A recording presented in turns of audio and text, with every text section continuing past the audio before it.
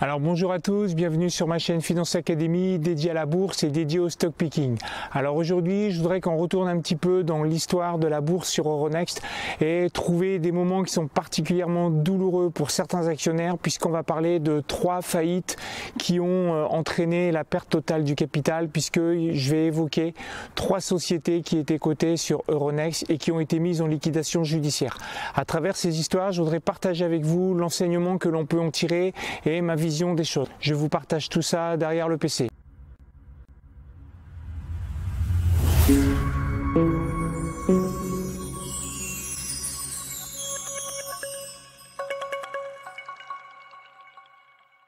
Alors le plan de cette vidéo, on va regarder les trois sociétés qui ont été mises en liquidation judiciaire et donc avec lesquelles euh, les actionnaires présents ont perdu euh, la totalité de leur capital investi.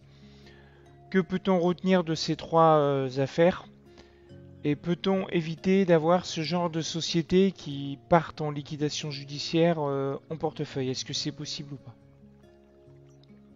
Donc la première société qu'on va évoquer, c'est la société Smoby.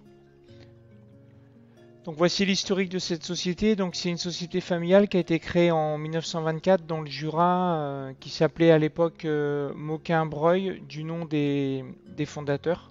À l'époque, la société fabriquait des pipes en bois. En 1947, euh, la société est partie sur euh, une modification de stratégie puisqu'elle est partie sur de la production d'articles ménagers en plastique pour passer en 1978 sur euh, la fabrication en fin de compte de jouets avec un nouveau nom qui est devenu le nom Smoby. En 1983, elle a fait son introduction en bourse et en 1993, il y a le petit-fils du fondateur qui s'appelle Jean-Christophe Breuil à l'époque, il avait 23 ans. Il a été nommé PDG suite au décès de son père. Donc à ce moment-là, le chiffre d'affaires euh, de Smoby était de 41 millions. Et de 1993 à 2005, euh, il y a eu une politique de rachat de concurrents qui était assez agressive. Donc il y a eu Lardy, Monray, euh, Majorette, etc. qui ont été rachetés, mais ça s'est fait avec une forte augmentation de la dette. Et au final, sur l'exercice 2005, le chiffre d'affaires de Smoby était à 292 millions d'euros à comparer avec les 41 millions d'euros quelques années euh, avant. Et en 2006, il y a eu des résultats euh, catastrophiques qui ont été communiqués. En 2007, il y a eu encore une aggravation des difficultés économiques avec une procédure de sauvegarde sur certaines filiales. Et en 2008, il y a eu la découpe des actifs avec notamment Smoby et Bercher qui est parti dans un groupe allemand. Et puis donc la société a alors à ce moment-là changé de nom pour devenir Smoby euh, Toys SAS. Et euh, il est arrivé euh, malheureusement en 2008 euh, des problèmes judiciaires puisque le patron, donc Jean-Claude Breuil, a été mis en examen et il devait à ce moment-là répondre à des accusations de détournement de fonds, de blanchiment d'argent pour une somme d'environ de 10 millions d'euros de l'époque en 2008 et abus de biens sociaux. Et en 2008, tout de suite après, la, société a été mise en liquidation judiciaire donc l'action est tombée donc à zéro éradiation de la cote. Et là, tous les actionnaires ont perdu euh, tout le capital qu'ils avaient investi. Je vous mets ici le, graphe en fait euh, du cours de bourse. Donc ici vous avez la suspension de cotation euh, mi-2007 et ça n'a jamais repris. Derrière, il y a eu en 2008 la mise à zéro en fait la liquidation de la société. Et donc là, en 1, vous avez ici la publication particulièrement mauvaise, en compte des comptes de l'année précédente. Et l'affaire s'est terminée en 2019 puisque Jean-Christophe Breuil a été condamné à 4 ans de prison avec 3 euh, ans et 6 mois avec sursis. Donc en fait il a fait 6 mois de prison ferme. Et il y a son chalet d'une valeur de 2,5 millions d'euros euh, à l'époque de 2019 qui a été saisi par la justice parce qu'il avait été financé par du blanchiment d'argent avec des sociétés écrans.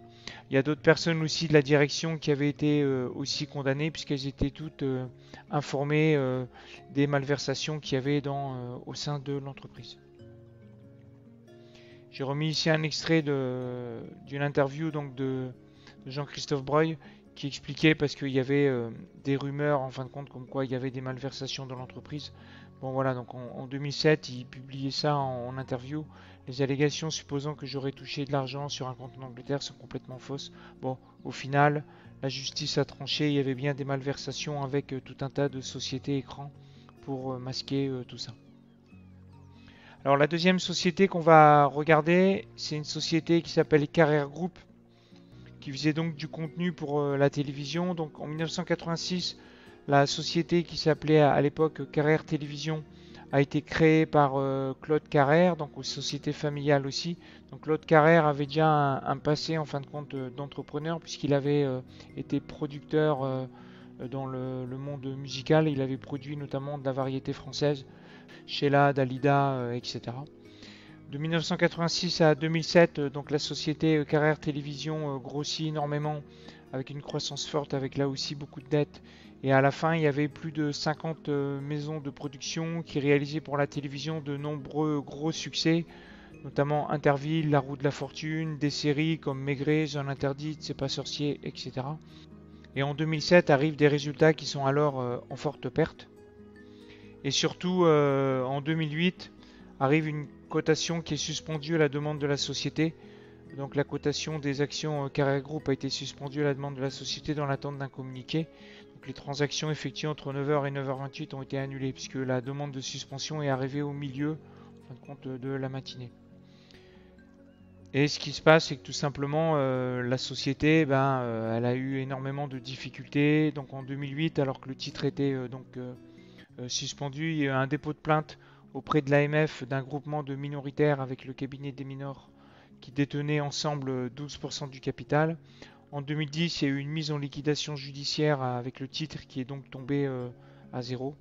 Et en 2012, l'AMF a condamné en fait Claude Carrère à, payer 1,6 million d'euros pour euh, avoir vendu en fin de compte des titres sans déclaration en 2007. Donc ça c'est un délit d'initié parce qu'il était au courant que la société allait, euh, mal mais c'était pas encore diffusé dans, sur le marché. Et il y avait aussi des présentations de comptes qui étaient inexactes, notamment des montants de dette. Et puis il y avait les commissaires aux comptes qui avaient été aussi, euh, on va dire, euh, trempés dans la malversation comptable. Et aussi, ils avaient euh, été condamnés. Donc je vous mets ici le graphe de la société. Et ici, j'ai mis le petit 1 où là, vous avez les délits d'initié du, du, patron, en fait, qui a énormément vendu de titres. ici, alors qu'en fin de compte, le marché n'était pas au courant que les publications allaient être euh, catastrophiques. Bon là ici il commence à y avoir des rumeurs et là bon ça a craqué. Et ici il y a eu la suspension de cotation au mois de mars 2008 et ça n'a jamais repris de cotation. La troisième société, la société euh, Goex, qui était cotée sur Euronext Paris et Euronext Madrid. Donc cette société avait été créée en 1999 par Garcia Martin, qui était aussi le patron euh, opérationnel et qui était aussi le majoritaire au capital. Cette société était spécialisée dans l'Internet mobile et dans le Wi-Fi. En 2010, ils font l'introduction en bourse pour une valorisation de 40 millions d'euros. Et de 2011 à 2014, il y a une très forte croissance avec un chiffre d'affaires qui fait x5, un résultat net qui fait x10, et le business équipé plus de 90 villes dans le monde, des grandes capitales comme New York, Madrid, Paris, etc. Le cours de bourse au plus haut donnait une valorisation de la société d'environ 2 milliards d'euros pour un chiffre d'affaires de 2013 qui était de 180 millions et un résultat net qui était de 29 millions. Le 1er juillet 2014, euh, coup de tonnerre, publication par Gotham City Research, un fonds activiste aux USA, euh, d'une analyse de 90 pages. Alors à cette époque, le fonds n'était pas très très connu, mais pour autant, euh, cette étude a fait euh, l'effet d'un coup de tonnerre puisque les conclusions étaient que GoEx était une plaisanterie, 90% du chiffre d'affaires était fictif et que finalement l'action euh, valait zéro. le cours alors s'effondre de plus de 60% en deux jours.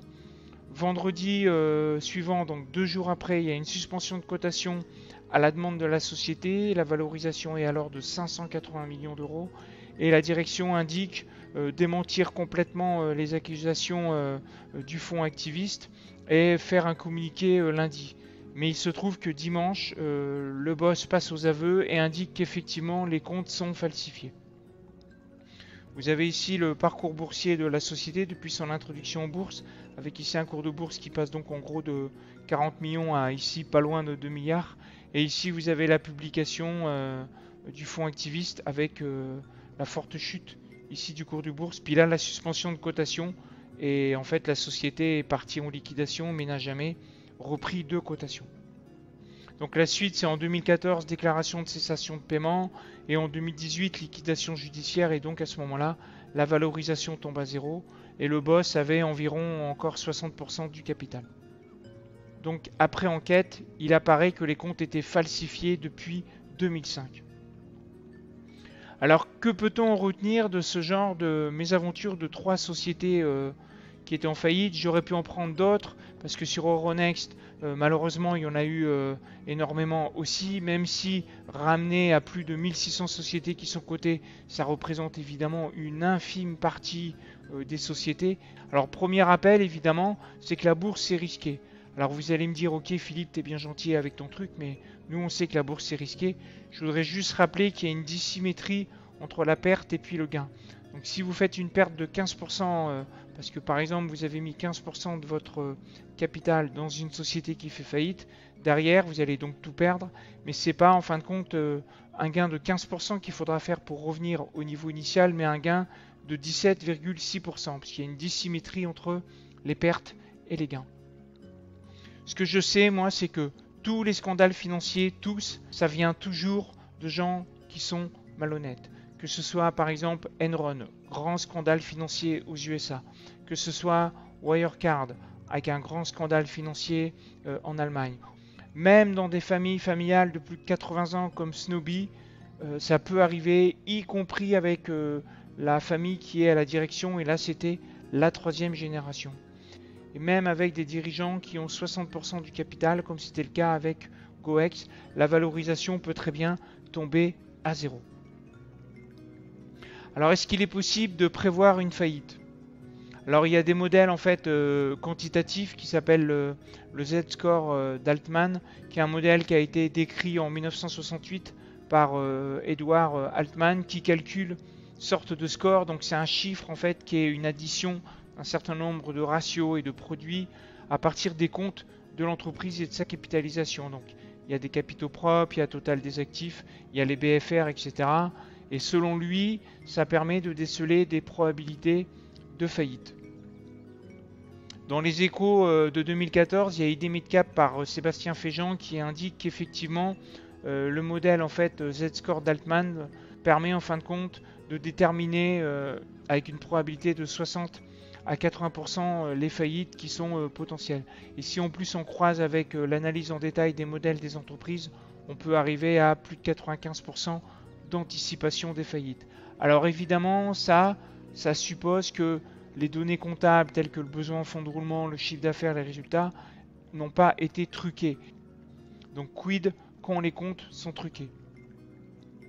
Alors moi, mon principe d'investissement pour éviter le plus possible des falsifications de comptes, même si le critère que je vais mettre il est subjectif, même si euh, potentiellement ça n'empêche pas d'avoir des faillites, même avec des comptes qui soient exacts. Mais voici selon moi le critère qu'il faut avoir pour éviter d'avoir des comptes euh, qui soient falsifiés. Ça concerne l'intégrité des dirigeants. Voilà pour moi le critère le plus important pour éviter des falsifications de comptes. Donc ce critère de très haute intégrité des dirigeants est notamment mis en avant par Warren Buffett, par Charlie Munger, par Philip Fisher, qui considère que c'est une pierre hyper importante dans la création de valeur dans une entreprise. En conclusion, moi, la moindre alerte, un fonds qui est réputé, qui shorte le titre, des rumeurs comme quoi il y aurait peut-être des malversations, des non-validations des comptes par les commissaires aux comptes, moi ça m'interpelle. Si jamais j'en ai, je me questionne, je me dis peut-être qu'il faut que je sorte. Si jamais il y a de gros décalages entre les dires d'un dirigeant et ce qu'il fait, si jamais il y a aussi des dilutions avec des actions gratuites pour la direction ou des conventions réglementées qui sont à rallonge, qui prennent 4, 5, 6, 7, 12 pages dans le rapport financier, s'il y a une rémunération variable aussi du dirigeant qui est modifiée en cas de crise, et là je vais vous donner un exemple qui est un vrai exemple d'une société cotée qui a publié ses comptes 2020. Donc voici ici le tableau de la rémunération variable donc du dirigeant que j'ai masqué parce que j'ai spécialement rien contre lui en fonction de l'atteinte des objectifs. Donc tous ces objectifs sont atteints, donc il va avoir 100% de sa part variable de, salaire. Mais pour autant ici, regardez, 25% du résultat opérationnel courant normalisé et il y a un petit 1 qui explique que euh, le chiffre d'affaires a été ajusté des effets négatifs de la crise Covid-19 sur les résultats financiers du groupe. Autrement dit, ici, vous avez euh, une société qui a, comme beaucoup de sociétés, souffert de la crise Covid-19, mais pour autant, euh, l'impact financier de cette crise a été effacé de manière à ce que la part variable de la rémunération du patron reste à très bon niveau. Enfin bon voilà, moi c'est typiquement le genre de choses que je n'accepte pas du tout. Alors après l'intégrité des dirigeants, l'analyse fondamentale. Donc en supposant que là ici dans cette partie on a des comptes qui soient euh, corrects. L'analyse fondamentale elle est souvent oubliée en phase d'euphorie. Donc attention par exemple aux secteurs qui sont à la mode parce qu'il y a des métriques qui sont euh, permanents et qu'on oublie parfois, c'est l'endettement. Un trop fort endettement, ça augmente fortement la probabilité de ruine. En cas de retour de cycle, etc., l'endettement, ça fragilise énormément la société. La solidité du bilan. Donc attention notamment aux actifs intangibles. Là, je vais prendre un exemple. Donc si je prends Carrière Group, alors ok, Carrière Group avait aussi euh, euh, truqué les comptes, mais c'est pour l'exemple. Euh, vous avez les fonds propres ici de Carrière Group qui montent, mais on se rend compte que les fonds propres, en fait, ça correspond à quoi comme actif? Ici en actif, on a 400 euh, millions à peu près de total des actifs. Puis vous avez en, immobilisation incorporelle à peu près 256 millions, avec ici beaucoup de concessions, brevets, catalogues, euh, encore ici du catalogue, des écarts d'acquisition, etc. Donc ça, quand on a autant d'actifs incorporels dans le total des actifs, ça, cette partie-là, ça se déprécie des fois rapidement. Bon, entre autres, c'est ce qui s'est passé pour 2007. Mais par exemple, la partie catalogue ici, qui est à 164 euh, millions avec les brevets et les concessions, ça peut euh, diminuer de 100 millions d'un coup et passer à 64 millions parce qu'on se rend compte que le catalogue il se vend pas aussi bien, etc., etc. Autre chose aussi à laquelle il faut faire vraiment attention, mais c'est pas assez dit, donc moi je le redis, Attention aux sociétés qui ne publient pas le tableau de flux trésorerie parce que c'est non obligatoire. attention parce que comme on dit souvent, le cash ne ment pas. Les sociétés qui ne publient pas le tableau de flux de trésorerie ont peut-être des choses à cacher. Bon voilà, j'en ai fini avec cette vidéo. J'espère qu'elle vous a plu. Donc vous avez bien compris, je n'ai pas de baguette magique pour éviter les faillites. Par contre, on peut voir qu'on peut mettre en place un certain nombre d'indicateurs qui restent somme toute assez subjectif. Donc si cette vidéo vous a plu, n'hésitez pas à vous abonner si vous n'y êtes pas. N'hésitez pas à la liker, n'hésitez pas à la partager. Je vous remercie pour votre fidélité et je vous dis donc à bientôt pour une prochaine. Ciao